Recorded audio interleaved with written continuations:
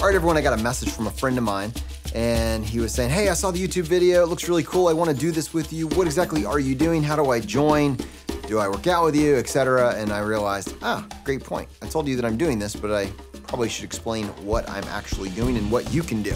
So I'm going to share with you what I shared with him, and in the process, I'm also going to share my laws of lean.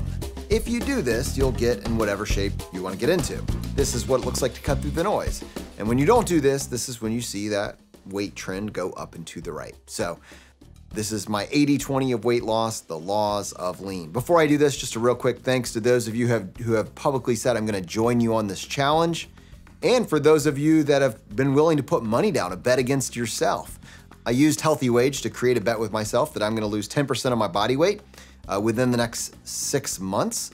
And trust me when I say this is a bet that I will not lose. If you know you're going to use this series as a form of accountability to lock it in, if you know that you can keep the focus and discipline to win whatever bet you set with yourself, then do it.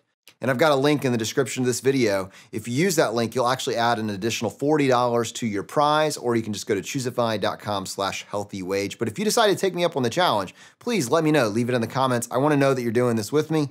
It's it's really cool. So we'll have fun with this together. And I mean, I can already see the difference. I'm I'm approaching the end of my first month right now, and and the, the effects, the benefits are starting to manifest. I'm doing a photo day by day log, a photo log, and it is crazy. Like you can't, it's hard to tell the difference, you know, 24 hours later, but when you look at the difference between, you know, 24 hours plus 24 hours plus 24 hours, one week, two week, three weeks of this, you look back at where you were and you're like, holy crap. So I'm gonna roll that right now. And while I'm doing that, the laws of lean. So these are seven laws, and I'm including the bonus down at the bottom, an eighth law. But these seven laws, if you do them, you'll be in the best shape of your life. No ifs, ands, or buts. And these laws of lean, they don't they don't care what name you use for the diet that you're following. They, they just it's basically what every diet has in common when you actually sift through the noise and, and come up with a framework of what's driving the weight loss. So there might be hundreds, if not thousands, of diets, and whether or not they're diets or fad diets, they have different names. Uh, I, I, actually went and Googled a list of them and, and I just stopped after I got bored. But the Mediterranean diet, the Zone diet, the Atkins diet, the Paleo diet, the Raw Food diet, Nutrisystem, Whole 30, Warrior diet, Keto diet, Vegan diet, Weight Watchers, the list goes on. I just stopped. Like, we could keep going. You probably have 20 or 30 you can add to this. What do they actually have in common? Laws of lean. Law number one cut out processed food. No more brownies, no more ice cream, no more pizza, no more, nothing that has a shelf life of eight years. The Pop Tarts, the popsicle, it's gotta go. It's gotta get put up. When you're just cramming something full of sugar, the candy, it's gotta go, right? You can hold on to your sugar-free gum if you want. But the processed foods have to go. I'm gonna go further with all these. I'm gonna break them down into individual videos in the future, but this is the highlight reel, right? This is what I'm doing. Law number one, cut out processed food. Law number two, limit food after dinner or eliminate food after dinner. So another diet that I could have mentioned was intermittent fasting or just fasting in general. Uh, well, I'm not gonna label this diet as intermittent fasting. Uh, I do think there's something to be said for not always being full all the time and actually being okay with some level of even hunger cues. You know, in this country in America, we're blessed that hunger is kind of a choice for many of us, right? We, we could never go hungry, and that's that's a great thing. But at the same point, that means that we're always just moving from one meal to the next, right? We now, and as soon as we feel any hunger pain, we immediately want to do something about it, and it drives us just to snack. What if it? What would it look like to eat to live, not live to eat? So, while there's a different bunch of different ways that you can take this, and there's different diets that explore this, like intermittent fasting, which has 16 hour fast, 18 hour fast, 24 hour fast, and beyond. My simple rule for this is just I stop eating after dinner. Dinner is my last meal of the day. Now, I realize many of you have different schedules. Some of you work nights, night shifts. Like, there's a lot of variety out there. But for me, I have dinner at 6 p.m. That is my last meal of the evening and then I will have breakfast at a normal time, but that's gonna approximate eating within an eight hour window, eight hours or less, and then having 16 hours of not eating, right? And most of that happening while I'm sleeping at night. And really, I just need to then contain my self control in that window between 6 and 10. Now, I will say that sometimes in between 6 and 10 p.m., like I, I do crave food. Okay, you know, 6 to 10 is like a trouble spot for many people. This is where we do a lot of our binge eating. This is where we typically have dessert or snack.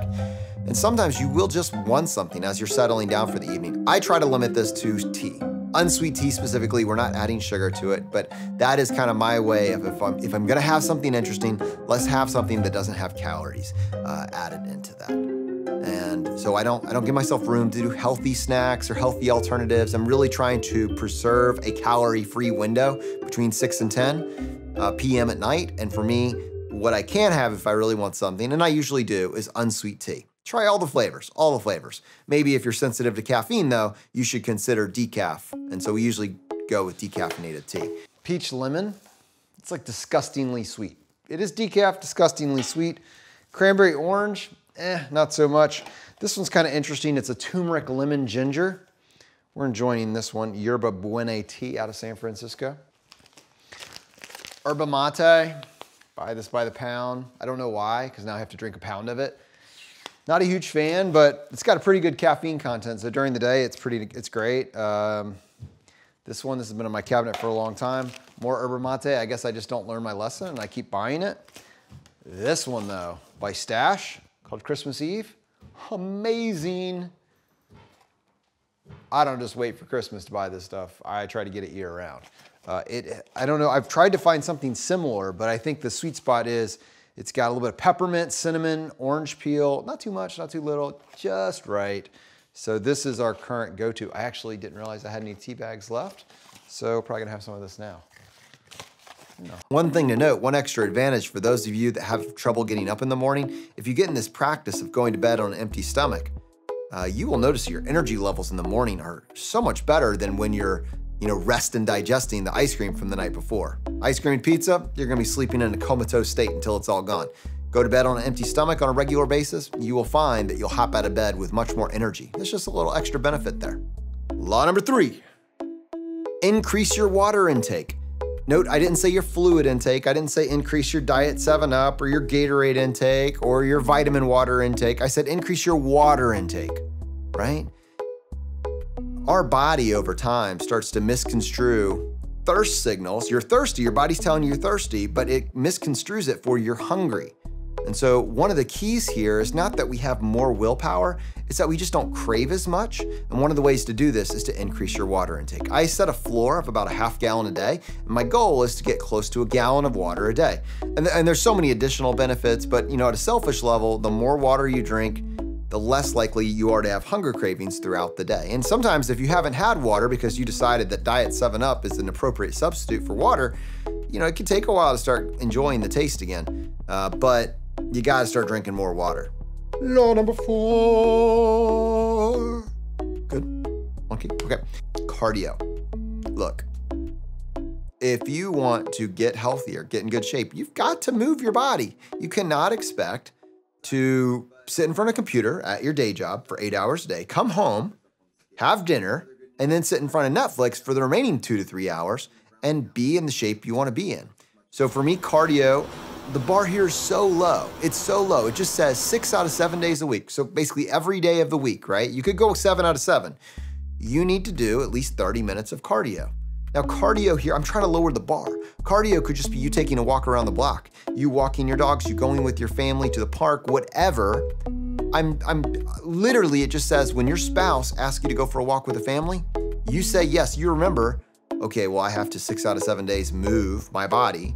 So I will do something. And you can do more than that. You can hop on a bike, hop on a row machine, but there's no, you don't need to get your heart rate to any particular level. This is just, this is just table stakes for life. If you wanna live a long life, you need to use your body in a physical manner. Doesn't need to be high levels of exertion, but you do, you do need to exert something just to prove to the rest of us that you have a pulse.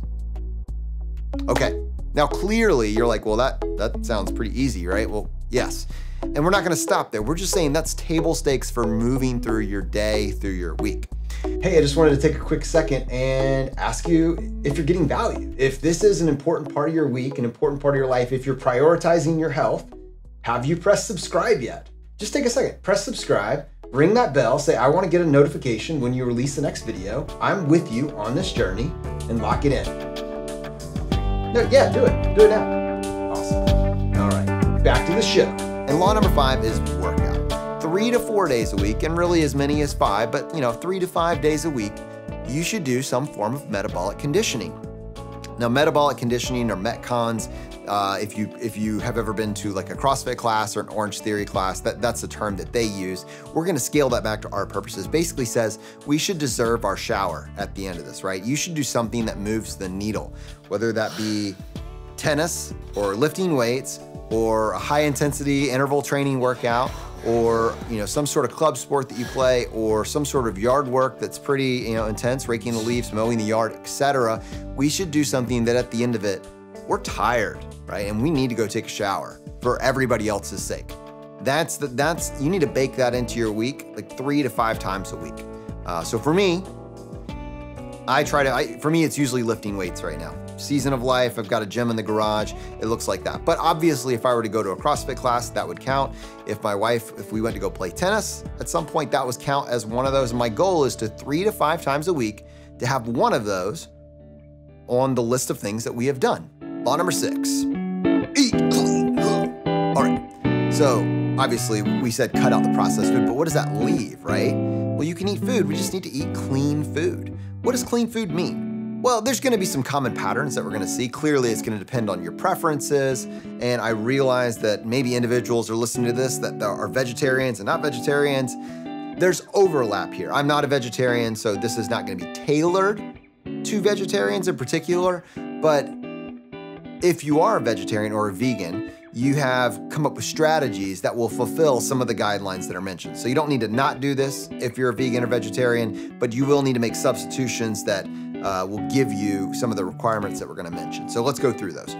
Foods as a whole could be broken down into one of three categories for the nutrients that they provide. They're, it's, a, it's a composition of proteins, carbs, and fats. Alcohols are another category, but it's effectively a toxin, so there's not a whole lot to talk about there. We're going to talk about proteins first. Protein generally is our friend. We want to have a moderately high protein diet. We want to have some amount of protein with each meal for for those of us that aren't a vegetarian or a vegan, this is primarily going to our protein's probably going to come from eggs. It's going to come from chicken, steak, which could be ground beef or the steak that you might think of, fish, uh, the occasional protein shake. You know, these these are the traditional protein sources that I find, possibly milk or yogurt, that sort of thing. If you're a vegetarian, then you're aware of your protein substitutes. Uh, and you know, for many individuals, maybe it's like hemp seed is one. Uh, lentils are another, beans and rice can offer some sort of complementary proteins. There's substitutes available, but basically we want to consume some amount of protein with each meal. And protein not only helps us build muscle and maintain muscle, but it also is going to keep us fuller for longer. So they're an important part of pretty much any diet. I haven't found very many low protein diets, except for individuals with specific health conditions, and that's very, very rare. So for the vast majority of us, our diet is going to be is, is going to want to have at least moderate levels of protein in it. Uh, I use the occasional protein shake as well. I might have a protein shake a day. I don't feel strongly that you need to have tons of protein, especially for us just trying to, you know, lose the weight and maintain our health in the process. But we do want to keep our protein level higher. Next, let's talk about carbohydrates. Carbohydrates, when we think of processed foods, we're primarily talking about carbohydrates, specifically sugars we want to avoid, basically, when you think about carbohydrates, we want to eat foods that would be considered diabetic friendly, and meaning they keep our blood sugar levels pretty stable at, even as we're digesting and eating them. So when you know when you eat that Snickers bar and you get that little energy kick, the energy push from the sugar that's in it, that's great, but it comes with a crash, right? And it also usually we crave more. We want to avoid cravings. And so the carb sources that we're going to eat from are ones that don't cause cravings and make us fuller for longer while providing energy. And so Short list here would be like oatmeal, rice, sweet potatoes, various types of fruit like bananas, blueberries, strawberries, that sort of thing. The list could go on, but the brunt of our carbohydrates are gonna come from clean carbohydrates. We do wanna avoid the excessively sugary ones and certainly the processed ones. Carbohydrates have another category that we think of as vegetables. They also contain some amount of carbs, but they're much higher in fiber and in water content, and basically those are unlimited. You can have unlimited vegetables. Um, but you know, if you have a cup here and there or two cups with a meal, that you can just throw on as much as you want. Vegetables like broccoli and Brussels sprouts and spinach. These are your best friends. The guideline here is just generally to eat more of them and prepare them in a way that tastes delicious.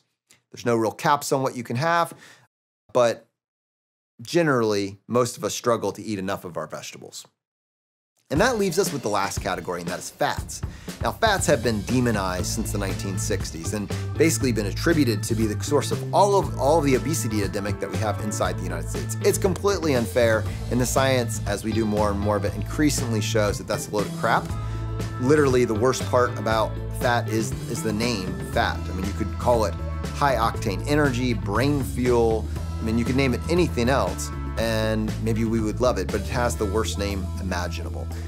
And practically, what do I mean for this? Clearly, not all fats are made equal. Fried foods are still bad for you, they just are. Your body takes canola oil and vegetable oil, which is what the vast majority of fried foods and fast foods are fried in, and it turns it into literally poison for your body. Uh, and so when you hear people talk about transhydrogenated fats, these are ones that because of high heat, they've turned into something that your body just doesn't know what to do with. You should avoid these at all costs. Having said that, what we've done in our grocery stores is we've just tried to make everything low fat. You see low fat on every product. Every single product you find in the store, whole fat yogurt, low fat yogurt. Regular cookies, low fat cookies. Whatever it is, there's a low fat alternative in the store. And if low fat worked the way it was marketed, America would all be in the best shape ever. And that's just not the case. Low fat is not your friend. Basically, what happens here is you're taking the fat out. Great, okay, fine. Whether or not that fat was actually bad for you in that particular case or not, we could talk about later, but you're taking that fat out, you're adding a bunch of gums and binders and that sort of things to maintain the volume. And then to make up for what they're pulling out, they just add extra sugar. And this, as we just talked about, is the worst thing for you. So when you go look at a product that's low fat, you're gonna see there's gonna be way more chemicals or ingredients, right, on that same product. And then the sugar content or the carb content is gonna be way higher because they wanna make sure they're keeping that flavor. And so you just gotta be really careful. And very rarely do I find myself actively going to the store and trying and saying, yes, I found low fat cookies, I found low fat yogurt. No. You know, I, I would look instead, I would look for a yogurt that says less sugar added or something along those lines, right? Uh, we we don't want to get in the habit of thinking that low fat is our friend.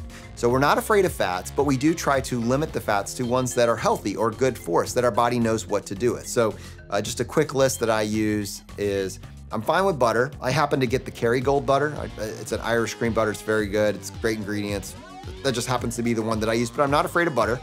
Uh, olive oil is my preferred oil of choice. You will never see vegetable oil, peanut oil, or canola oil in my house. And as I've gotten older, I've gotten more and more hardcore about that. Uh, other oils that are really good are avocado oil and macadamia oil. These get progressively more expensive. And so I use macadamia oil. We can't we can't afford a whole lot of that in my house, so we usually will do most of our cooking with butter, uh, olive oil, and avocado oil. Coconut oil is another one. Ghee is another one. You see that in a lot of keto diets. You know, it just kind of depends on what you enjoy from a taste perspective. I have the best luck with avocado oil, butter, and olive oil. That tends to be what we use the most of. You can also get fats from nuts. So my family keeps huge bags of nuts in, in the cabinet from, from Costco or Sam's Club or, or Wegmans, wherever. But it's, it's a large bulk bags of almonds, pecans, walnuts. We sprinkle these, have them as a snack periodically. These are fantastic for you. Fat is a energy dense food group. So these are fine to have. And again, the key here is just moderation. What you'll find though is that fats typically, especially pure fats without extra sugar added to them, they do fill you up faster. So as long as you're looking at those earlier rules, you're staying hydrated, you're having a small portion size, it'll give you great energy, it'll keep you full, and it'll be fantastic for your metabolism and your energy levels. It's all good stuff here. That was rule number six, eat clean. Rule number seven is, especially for those of us that have our game face on, right? We're pursuing a transformation, is we have to avoid the snowball. There's so many quote unquote healthy alternatives out there. There's so many things that you can do just to replace your sweet tooth with something else. And while I think in theory that's completely fine, you know, a healthy snack or sweet is is much better than your go-to dirty snack, right? The problem is you're actually giving license or permission to your to your sweet tooth to continue to live. And right now we need that sweet tooth to die. Right? We need that to go away and not be part. And here's why: not because that snack is going to mess you up, but if you're always thinking about sweets, if you're always thinking about that next cheat day, it's going to be very hard to stay the course. And what we simply cannot afford is for you to have the healthy snack that has a you know a little bit of sweetness to it. It's kind of getting it's like a it's a it's a healthy chocolate chip cookie dough as opposed to your normal one. It's made out of chickpeas instead of your normal one. Right? But then that just has you thinking about food all over the weekend, and slowly you find yourself making worse and worse choices. You look up on Sunday and you brought back out the pizza, you had a bender, and you realized, crap, right? And now, now game face, it's back to Monday. We're gonna get started again. But it's, you know, you just know when you step on the scale, you're gonna be five or six pounds heavier. It's gonna take you two weeks just to get back to where you were on Friday night before you started the snowball. And then from there, now you're making progress again. That's devastating. It's devastating for your morale, it's devastating for your momentum, and it increases the chances that you're gonna fall off the wagon. So we just, we're not doing cheat days. We're not doing cheat days we can worry about how to slowly ease our way back into some sort of maintenance phase where we have the good stuff of life. But right now, we're focusing on our mental game to crush this, right? And so we need to figure out how to stay the course and avoid the snowball. And certainly, if you have a healthy snack, you haven't lost, right? But the key is you can't afford to snowball. You simply can't do it. We cannot lose two weeks because we thought we you know, we're here, everybody has a pizza, someone offered me a beer, and it just it, it becomes this whole epic crash and burn on our diet. We got to stay the course, avoid the snowball. That's rule number 7. Don't let anything slow you down. Now, here's my bonus rule for you. Everything I just laid out, like look at this chart. Look at this chart. This is this is from June 2019 to basically right here in mid-April when I started this. And look at that trend. It's pretty predictable, right? I was doing the opposite of the laws of lean. Opposite. Now look right here at the top. You see that? And you see how it basically starts going right back down? That's as soon as I implemented the laws of lean, you can see where this is headed. And as long as I keep doing this, I'll get where I wanna go. So, how do you keep it interesting, right? Because you wake up each day, it's a new day. And you're like, oh, I'm 16 days in. How much longer do I have to do this? You've got to gamify it. And that's what I'm doing. So if you go to choosefi.com slash healthy wage, you can join me on my challenge. I made a bet with myself. But if you're gonna make this bet, you can't afford to lose it. Who do you wanna be on the end of this? If you decide to make the bet, it's because you're promising me and you're promising yourself, I'm gonna stay the course until I get where I wanna go. Whatever bet I set with Healthy Wage, I'm not gonna lose. I'm taking their money at the end of this thing, right? So if you decide you're gonna lose 10% over three months, 10% of your body weight over three to six months, make sure you do whatever it takes to lose that weight and do it in a healthy and responsible way. Now, if you decide to do that uh, and you use my referral link, I'm gonna add $40 to your prize. So if you make a $100 bet with yourself, you're gonna have $140 as long as you win, as long as you lose the weight. A, it'll be $140 waiting for you, right? This is kind of the key. Keep it interesting. Tell everybody. Make it embarrassing if you fail. Create walls around your goals for yourself that, like, there's no way you'll crash out. Let everybody know. And then make it a game where every day you wake up and you're like, all right, I'm in the game. I am in the game. That's what I'm doing right now. That's exactly what I'm doing here. You know how embarrassing it'll be if I if I stop doing this halfway through or I stop telling you about it? You'll know. Like, oh, where'd he go? He must have given up. It's not gonna happen. This money is already mine. And because I pushed out the bet till November, the key here is in order to win this bet, I have to hit my goal, right? Which means if I hit my goal, that means six months from now, I've still kept off 10% body weight. So, how do you do this? How do you gamify this? You get started, you take action, you let everybody know your goals, and then most importantly, you follow the laws of lean. And we'll see you in the next video. Law number four. Law number four. Law number four. Four. Law number four. Law number four. Law number four.